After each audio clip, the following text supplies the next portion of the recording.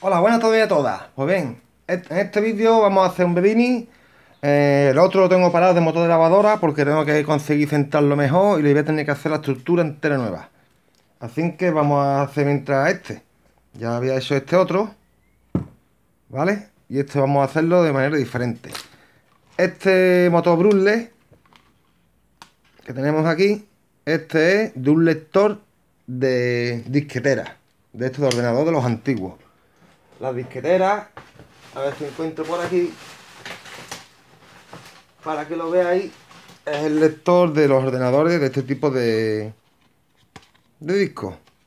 Pues bien, tiene el motor Brule y al desarmarlo, lo vi, ya se, quedó obsoleto y lo he utilizado para hacer un bedini. También he estado utilizando mi herramienta que me hice, que sale en uno de mis vídeos, Dremel, que me llegó, o sea, compré varias puntas Aquí podemos verlo, esto sale por unos 4 euros, 6 euros. Y tiene todo tipo de puntas.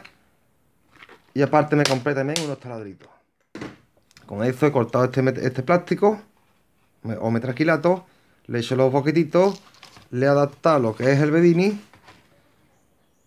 ¿Vale? He puesto aquí esto de una fuente de, de ordenador. Le he adaptado esta parte de aquí de plástico para que no me vaya a hacer corto ninguno de los componentes que le ponga.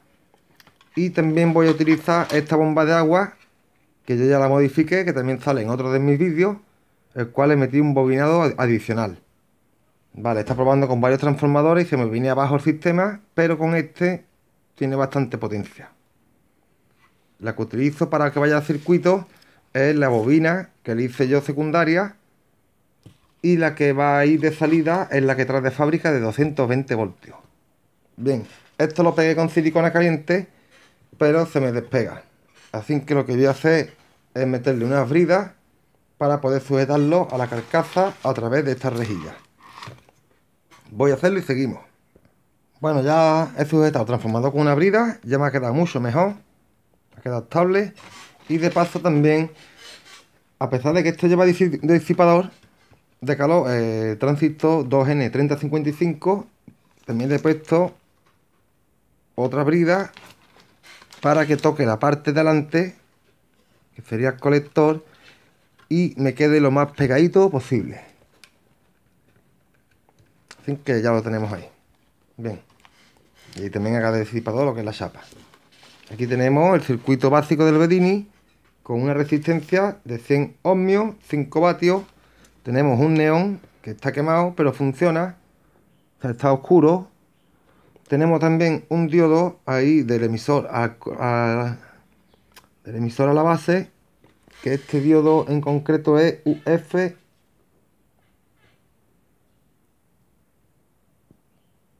547, creo que es. Este es reciclado un televisor, un, un, diodo que sea grande, si le ponéis alguno. Y potente. Bien, de la salida del Bedini bueno, esta sería la de 220 y esta también sería la de 220 voltios. La marrón y la azul. Y esta sería la que le hice yo adicional. Y esta también. Bueno, una de estas, de los adicionales que le puse yo, va directamente soldado al colector. ¿Vale? Y una la tengo provisionalmente fuera porque le tengo que poner un interruptor. Vamos a probar este Bedini para ver cómo funciona y vamos a alimentarlo con la fuente de alimentación. Y ponemos el negativo, que sería este cable que va al emisor. Y vamos a poner también el positivo, que sería este. En principio no le voy a conectar transformador. Este sería el positivo. Encendemos la fuente y la tenemos ahora mismo en 4 voltios. Le damos.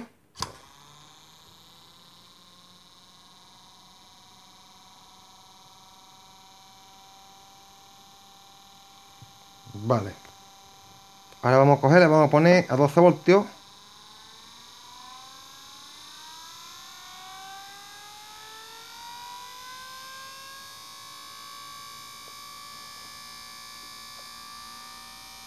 ¿Vale?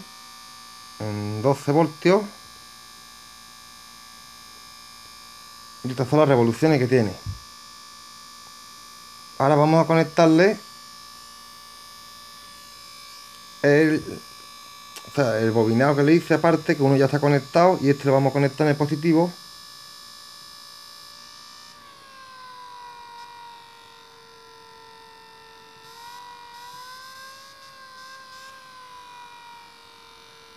y ya tendríamos aquí nuestra salida de 220 vamos a ponerle una bombilla.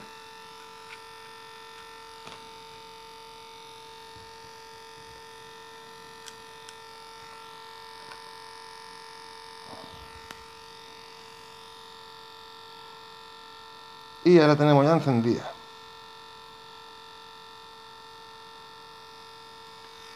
Vale He mirado también esta salida otra, que es donde están enlazadas las dos bobinas.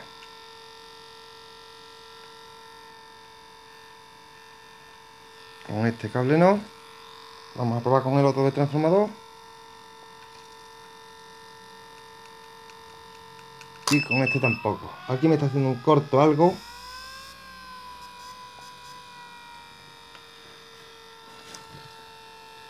Vamos a ver qué es lo que pasa. Nada aquí tiene que haber algo que no está bien conectado. Y es este cable. Vale me acaba de meter un latigazo.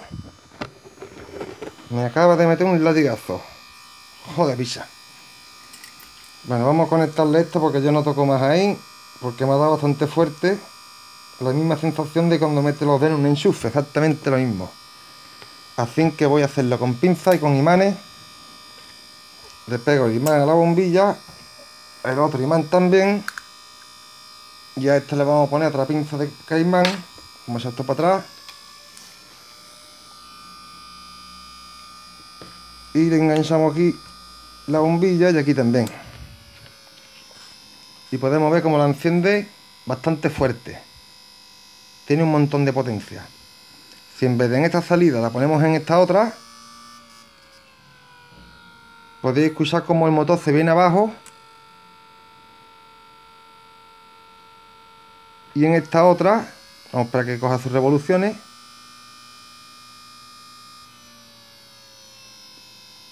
Se frena mucho menos y tiene más potencia lo que es la luz.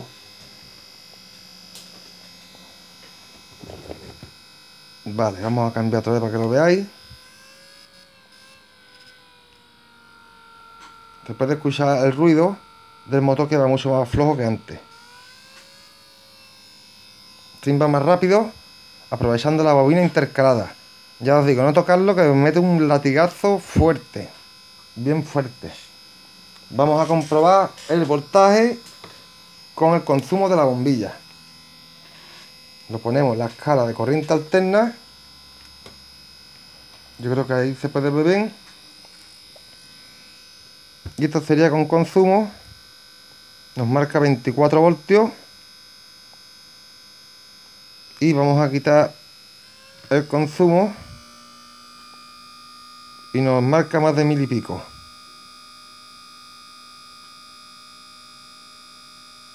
Nos da error si en vez de esa salida miramos la salida esta que sería la de 220 de la normal de el transformador de lavadora este de la bomba de agua también nos da 1500 y pico 1900 también nos marca error bien. Cuando trabajéis con esto tenéis que tener cuidadito no es que vayáis a morir electrocutado pero sí os va a meter un buen chispazo y podéis caer móvil al suelo o lo que sea al suelo y romperlo. Bien, vamos a quitarle ya la salida esta y ya el transformador no está funcionando. Pero incluso sin funcionar, si tocáis el colector y el positivo sin querer, también os va a meter un latigazo. Bien, si en esta salida y esta salida conectáis, sea, en las dos salidas, en la de transformador modificado de bomba de lavadora y este, o bien con estos dos, vaya a poder cargar un móvil conectando directamente el enchufe. Esto está ahora mismo en 12 voltios si, aunque lo baje a 4 vamos a ponerlo en 4 ahí está en 4 voltios vale vamos a conectar también la bombilla. De nuevo. Y vamos a conectarla a la salida de la bobina intercalada. Nos faltaría conectar el azul que voy a coger otro cablecito para hacerlo mejor.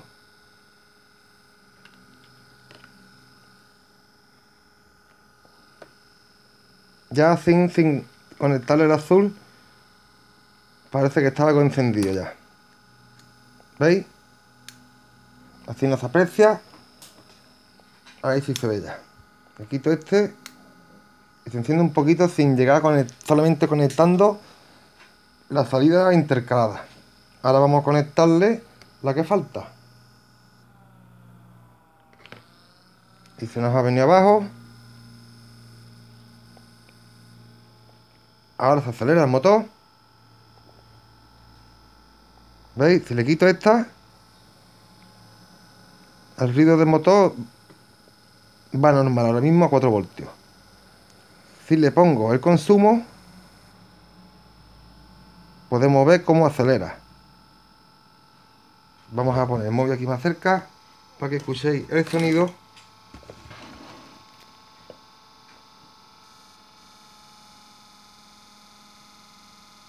y cómo aumenta las revoluciones ahora meterle consumo. Ahí podéis verlo. Vale, lo mismo si lo ponemos más ligero.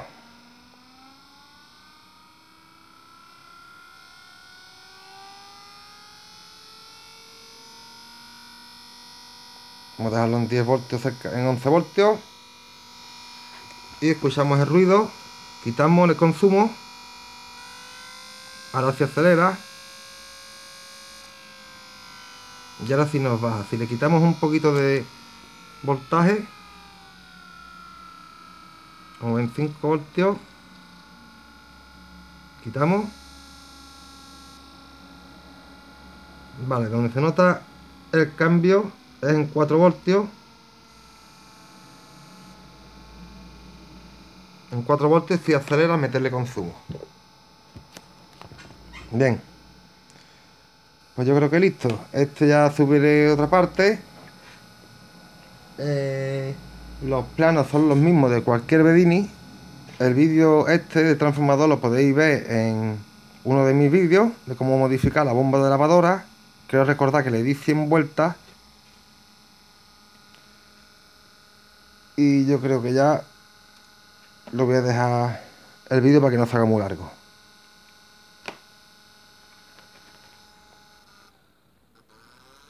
Vamos a darle caña hasta 15 voltios.